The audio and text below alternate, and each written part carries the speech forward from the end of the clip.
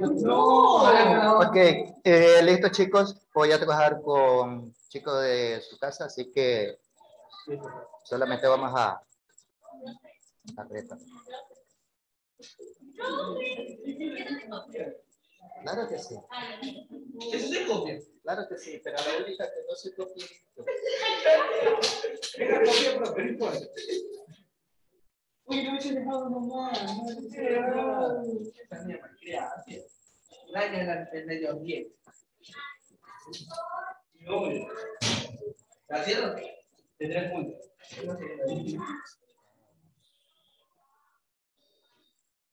No me gusta cómo la usted. Da clase en, en, en la casa. Claro. cómo llama la cámara. Estaba-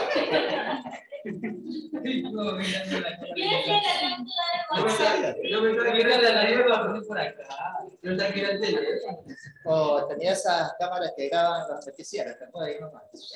Ah. ¿Saben eso? Esa vale como 5 mil dólares. Como el teléfono. Y algo más. Yo llegan a como dos mil. Bueno para ganar. Hubiera feliz, ahorita hubiera tenido una ya. No, ¿Cuántos años te va a. Yo, yo, yo, paz. Ok. Pero si ustedes se ganaran una lotería, dejaría de trabajar. A ver,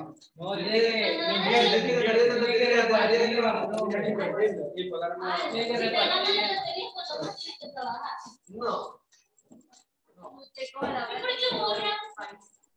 Corre. Hasta el título eso. ok. A ver. Eh, el día de ayer eh, le estaba explicando una fórmula con respecto a funciones irracionales. Eh, la mayor parte de los ejercicios de funciones racionales, las raíces no han estado en el denominador. Eh, yo recuerdo que la, la tarea que envié había un ejercicio, sí, pero con una sola variable. No había tenido varios términos. Eh, El día de ayer compartí la fórmula donde se extraía de esa fórmula una constante que iba a estar formado por un coeficiente, si es que hay coeficientes o ese coeficiente está acompañado de variable. Siempre se la considera por un solo valor, A sobre B. A la raíz, y es lo que mencionaba, la cantidad subradical de esa raíz equivale a la letra C, nada más. Eh, por ejemplo, yo tengo o se plantea un ejercicio, digamos que tenemos solamente el coeficiente numérico. Tengo 3, 7 veces la raíz cuadrada 3x al cuadrado. Eh, tenemos entonces, a través de fórmula,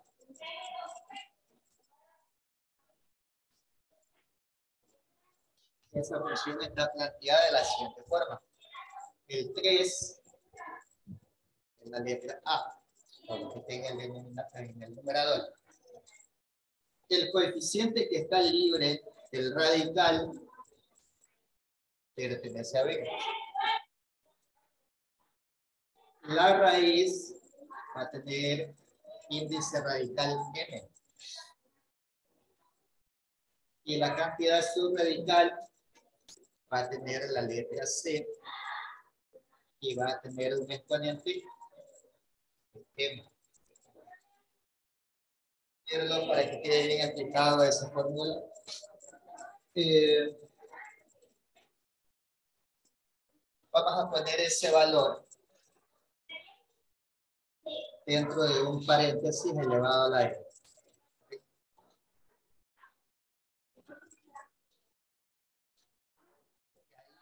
Es de variables, Observamos que la raíz está en el denominador, entonces la subimos, pero al momento de subir, esa raíz va a tener un exponente negativo. Va a tener un exponente negativo.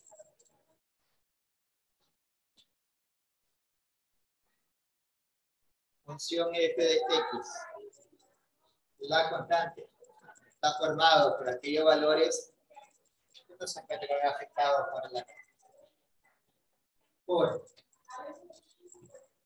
la cantidad subradical ya sube, se libera, pero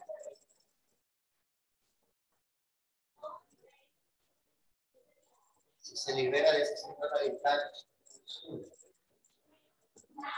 Y va a quedar la cantidad subradical elevado a menos que se sobre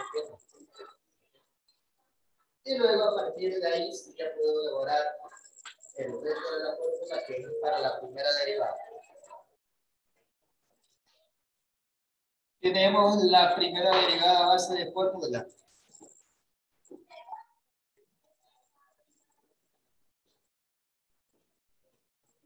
A sobre B por menos M sobre N por la cantidad subradical menos m sobre n menos 1 y por la derivada de esa cantidad subradical. Ya tengo la fórmula hecho para dicho ejercicio.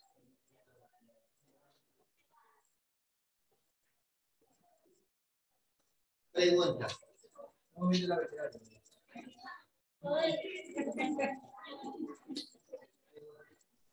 Esa fórmula que trae planteada, si ustedes la analizan respecto a las ejercicios anteriores, corresponde a la fórmula para la segunda derivada.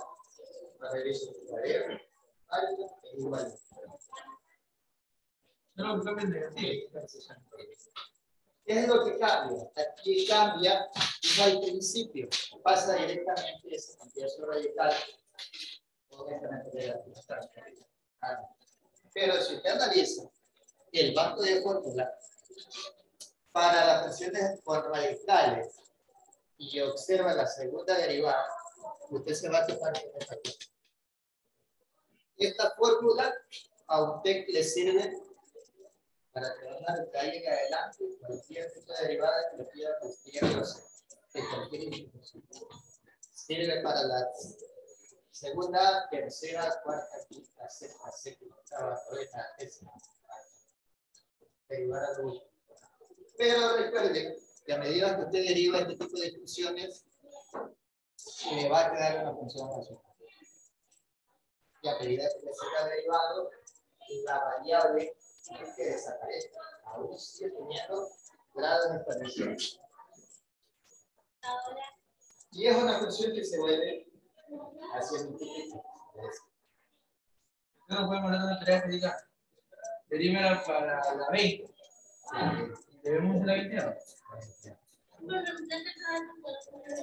Sí, pero Que no te entendiste que estamos viendo el lento. Ok, entonces vamos a trabajar el ejercicio que tenemos planteado ahí.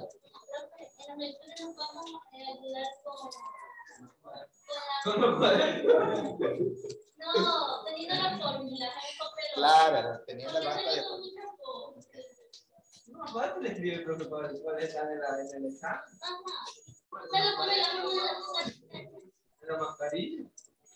Ok, en la mascarilla. Bien. A sobre B por menos M sobre N por C menos M sobre M menos 1 y por la derivada de C. Si me piden quiere espacio. Ah, no, no, no. Paso. Y entonces la parte de arriba. ¿Cómo se va a? Tiene que estar No. Es que eso no era. Ya tiene que estar copiado lo que vos ves. ¿La tasa de variación? No, es que la primera Ah, la la se copió. Ah, la primerita. Ah, sí, ya no lo paso, pero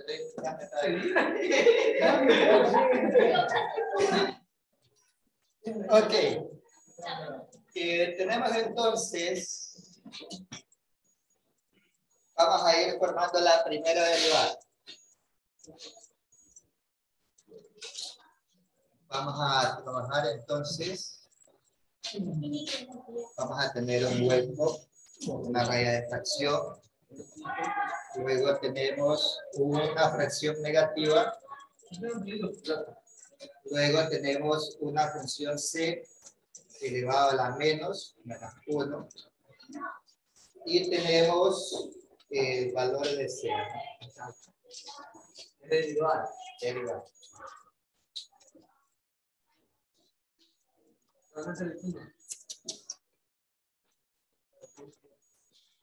Es 3 elevado a la 7. Puedes hacer- te vas a tirar, este, Del lado.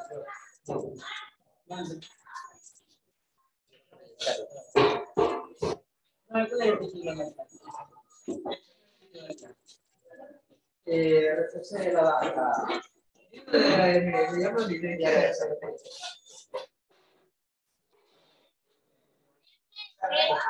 M2 tiene dos y dos. ¿La T? Ah, la que la T. Ah, sí. Dale, ahí no. Ya, Pero ahí no es 3 nomás, ahí es 3 X. La la X. X 6X. Menos uno,